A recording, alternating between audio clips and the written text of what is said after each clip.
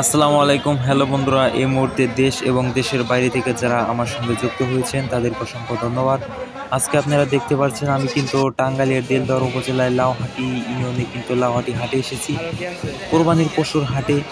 পশুর হাটে কিন্তু প্রথমেই কিন্তু সামনেই কিন্তু সেই ছাগলের হাটটি কিন্তু রয়েছে। সেই ছাগলের হাটে এসেছি। আজকে হাটে কিন্তু প্রচুর পরিমাণে কিন্তু ছাগল রয়েছে। কোরবানির ঈদের কিন্তু আর মাত্র কয়েকদিন বাকি রয়েছে সপ্তাহানিক বাকি রয়েছে। হাটে কিন্তু জমজমাট কিন্তু তারা পশুর হাট কিন্তু জমেছে। কেনা বেচাও কিন্তু প্রচুর হয়েছে। কিন্তু আমরা ক্রেতাদের কাছে, বেশিরভাগ ক্রেতাদের কাছে জানতে পারতেছি, বাজারে কিন্তু পশু কিন্তু আরও অনেক হতো।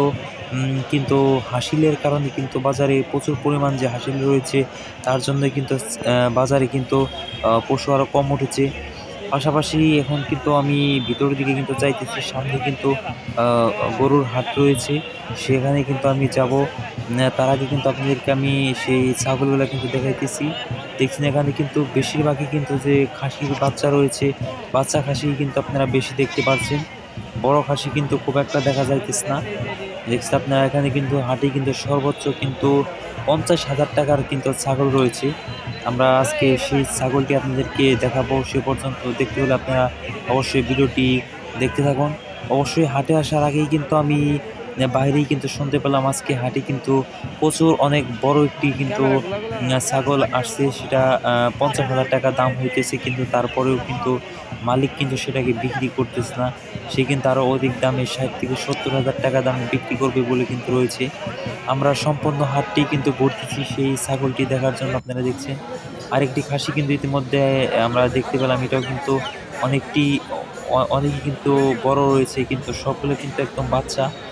ছোট বাচ্চা খাসিগুলো কিন্তু বেশিরভাগই রয়েছে। বড়গুলা কিন্তু কয়েকটি রয়েছে। আশেপাশে কয়েকটি উপজেলায় থেকে কয়েকটি উপজেলায় থেকে কিন্তু এই টাঙ্গাইলের কিন্তু দেলদর উপজেলার লাউহাটি হাটে কিন্তু বেশিরভাগ মানুষই আসে। এই খাসিটার দাম কিন্তু প্রায় বিশ হাজার টাকা হইতেছে, এত কিন্তু বর্তমানে কিন্তু পশুর দাম রয়েছে। কোরবানির পশুর হাটে যেন ভিড়াই যাচ্ছে না, এরকমই কিন্তু অবস্থা রয়েছে। একটা দশ হাজার টাকার নিচে কিন্তু কোনো খাসির বাচ্চাই কিন্তু পাওয়া যায় না যাইতেছে না, সেরকমভাবেই কিন্তু দেখা যাইতেছে। যারা উম, আহ, কোরবানিদাতা রয়েছে যারা খাসি কিনবে তারা কিন্তু অত্যন্ত হতাশার মধ্যে রয়েছে কিন্তু দামের সংকটের জন্যে। এ দেখতে পাচ্ছেন এখানে কিন্তু হাসিল করা হইতেছে। একটা ছাগল প্রতি কিন্তু তারা তিনশো টাকা পর্যন্ত হাসিল নিয়ে থাকে। এই জন্য কিন্তু এই হাটে কিন্তু বেশি বিক্রেতা কিন্তু আসে না। ইতিমধ্যে কিন্তু আরেকটি বড় দুইটি ছাগল কিন্তু নিয়ে আসলাম আপনারা দেখলেন।